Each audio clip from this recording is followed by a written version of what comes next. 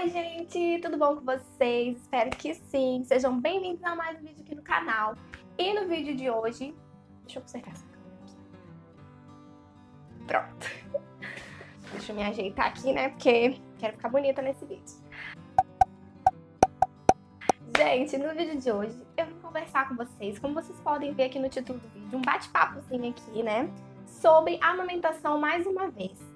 Só que no vídeo de hoje eu vim contar para vocês como aconteceu o desmame.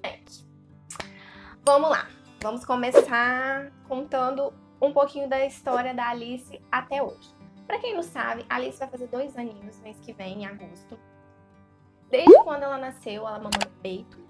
É, quando ela nasceu, quando ela completou dois meses, eu comecei a introduzir fórmula, né? Eu amamentava ela no peito e também eu dava fórmula para ela. Graças a Deus ela não largou o peito, né? Nesse período que ela começou a tomar mamadeira, não largou. Isso é muito importante. E aí, gente, né? O tempo foi passando, é, a Alice foi mamando, eu fui sendo sugada, como vocês viram, né? Emagreci muito, muito mesmo por conta da amamentação. Eu estava muito cansada, muito exausta. E aí chegou uma hora que eu precisava desmamar ela. Gente, a Alice, ela tava tão agarrada no peito que ela dormia mamando no peito. E acordava de madrugada várias vezes mamando. E eu já não sabia mais o que fazer. Quantas noites eu passei acordada amamentando ela, porque ela só queria ficar no peito.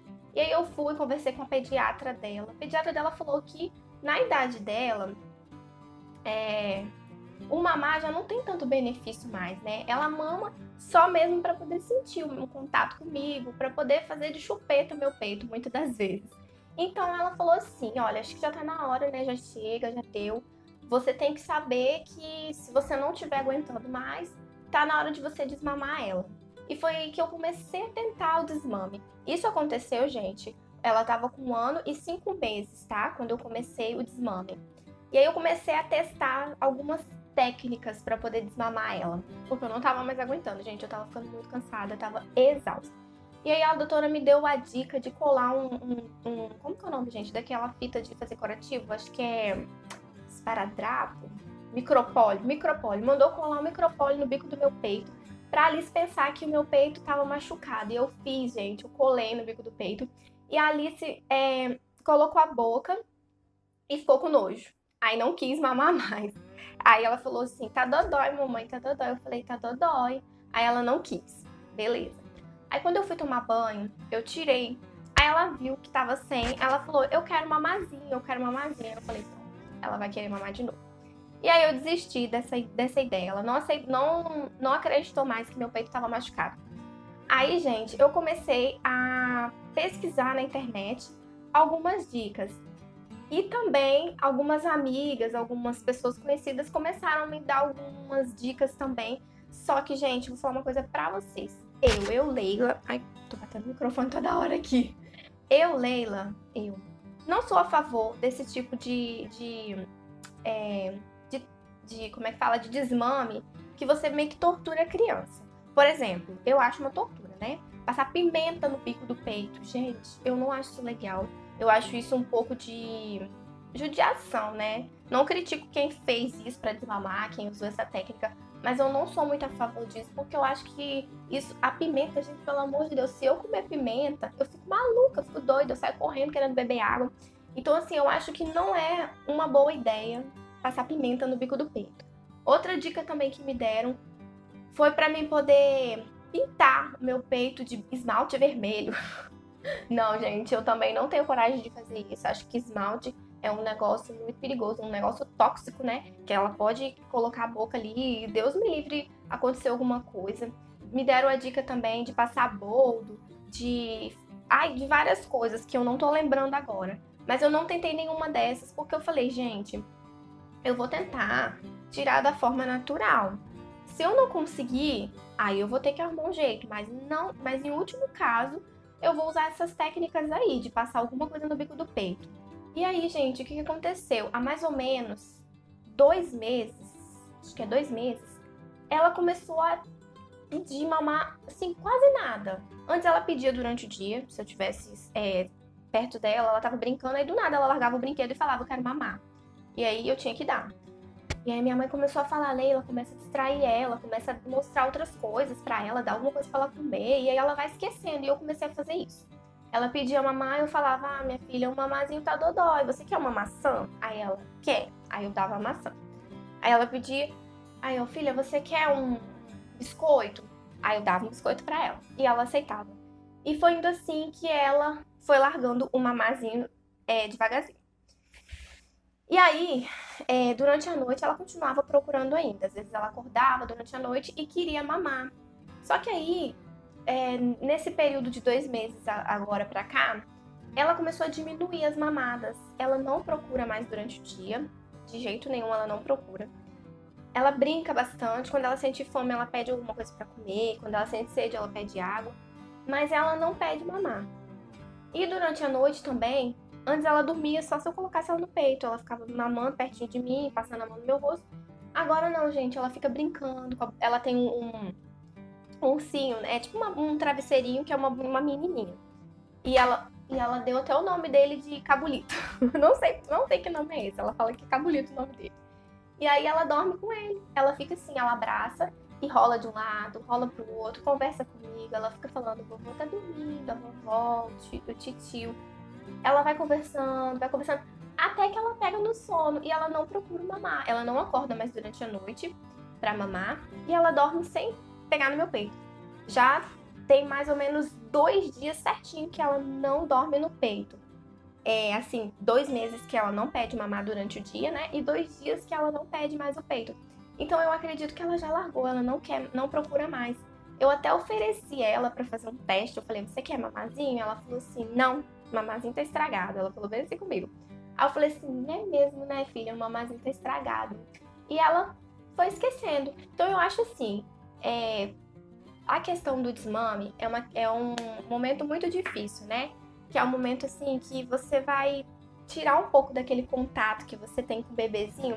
Porque assim, gente, eu amo, eu amei amamentar. Foi uma experiência muito incrível na minha vida. Foi assim um momento maravilhoso. Que eu tive aquele contatozinho com meu bebê, que eu pude dar a ela, né? O, o leite materno, que é um leite muito, muito importante para o bebê, que ele tem vários benefícios para a saúde da criança eu pude amamentar e eu tinha muito medo de chegar nessa hora, nessa parte do desmame, de ter que tirar uma madela, de ter que é, falar que eu não ia amamentar ela, que não, não tinha mais aqui, porque chega uma hora que isso tem que acontecer, né, gente? Chega uma hora que a criança cresce e ele precisa entender que ele não pode mais mamar ali, que já não tem mais benefício aquele leite para ele. E aí eu tinha muito medo de chegar nesse momento e eu sofri muito com isso. Mas Deus é muito bom, Deus é maravilhoso. E ele fez com que esse desmame acontecesse da forma natural, com, da forma que ela não procurasse mais um mamar, que ela mesma decidisse que ela não queria mais mamar, e aí foi menos sofrido para mim, menos sofrido para ela. Então, assim, eu tô muito feliz de ter acontecido dessa forma, mas eu falo para as mamães aí que estão tentando desmamar o seu bebê, tenta conversar, tenta distrair com alguma coisa, sabe? Tenta explicar. Eu sei que criança nessa idade ainda não entende muito, mas assim, conversa, fala, olha, o mamazinho tá dodói, a mamãe não tem mais leitinho aqui, vamos comer um biscoitinho, vamos comer uma fruta, vamos, vamos brincar, vamos tentar distrair ela de alguma forma, porque eu tenho certeza que vai ser a forma mais saudável, porque eu, eu não sou a favor, gente, não sou a favor desse negócio de passar alguma coisa no peito para maltratar pimenta, esmalte, essas coisas assim, gente, eu não sou a favor. Eu acho que é muita tortura para criança. Eu acho que é muito ruim uma criança ter esse trauma de botar a boca ali, sentir que alguma coisa te incomodou, principalmente da pimenta, né? Colocar a boca ali e sentir que ardeu, que, que sabe, de ter uma experiência ruim de algo que era tão bom.